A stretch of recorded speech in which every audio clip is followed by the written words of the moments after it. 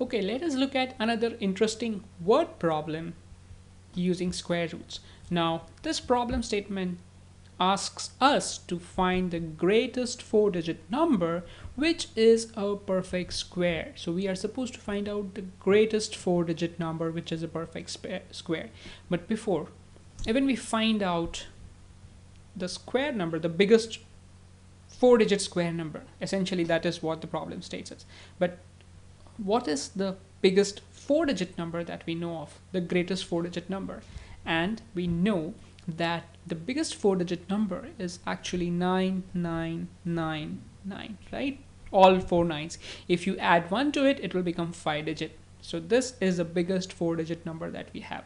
Now let us investigate whether this is actually the biggest number is this a square number or not? So we will proceed with our division method. So we first pair the numbers and then what we do is we try to proceed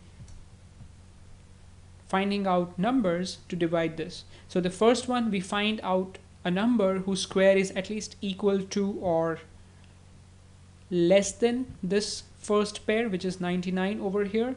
And as I said earlier, it is helpful if you remember at least know the squares by heart for num uh, numbers from 1 to 10. Now, in this case, straight away I can tell that I'm going to use 9 square, not 8 square, but 9 square. 9 square gives me 81.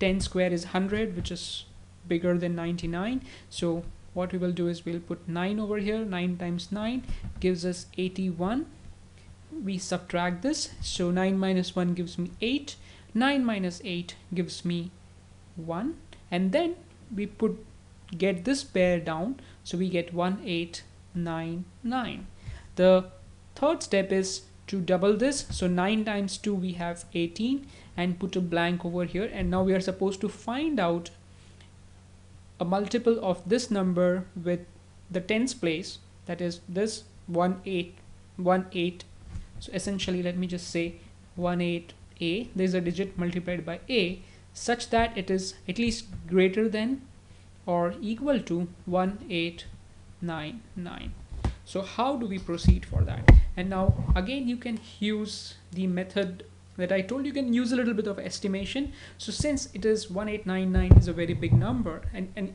simply what you can do is if you have let's say 180 1 181 times 1 so you can use that method.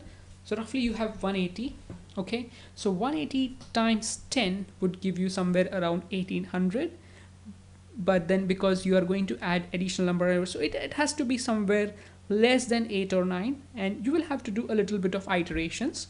So let us say that in this case we would like to try the number 8 let's say we want to try out. So we'll try out 188 multiplied by 8 this is what so 8 times 8 gives me 64 so I put the units place carry 6 over here then 8 times 8 is again 64 plus 6 gives me 70 so that I put 0 over here and then I have 7 then 8 times 1 is 8 plus 7 it gives you 15 so you have 1504 well now this seems to be a bit farther away because this is almost like 1900 and this is 1500 and this is like what 180 so let's again try the next number that is 189 multiplied by 9 and let us see what we get. So 9 times 9 is 181 and I carry 8 over here 9 times 8 is 72 plus 8 is 0 you get 80 you carry 8 over here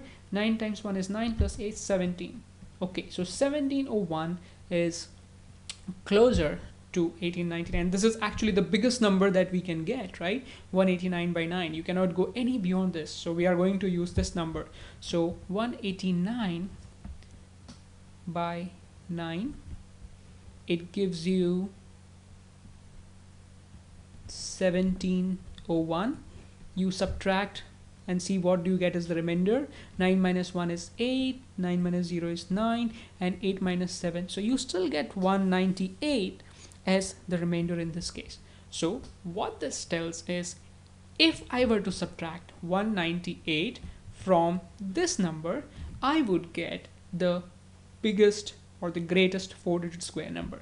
So our new number or the greatest four digit number is going to be 9999 minus 198 or the when you do the subtraction you get 9801 so 9801 is actually the biggest or the greatest four digit number which is a perfect square. And you can actually proceed to find out the square root of this 9801 and you would get 99 as its square root. So let me just write it down for you. So the greatest four digit number is 9801 and its square root is 99 okay?